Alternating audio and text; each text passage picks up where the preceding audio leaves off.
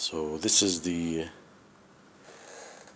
TDA 2030A TDA 2030A amplifier.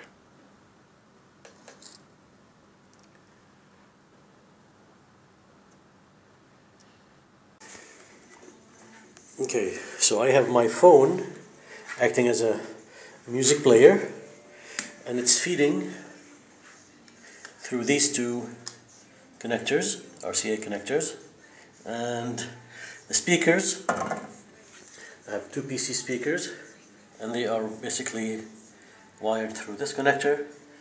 Hey, psst, get out.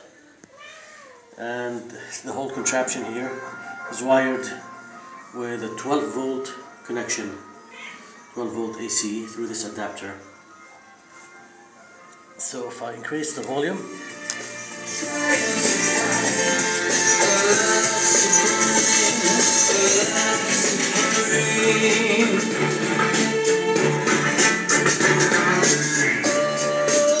what are you really looking for? My love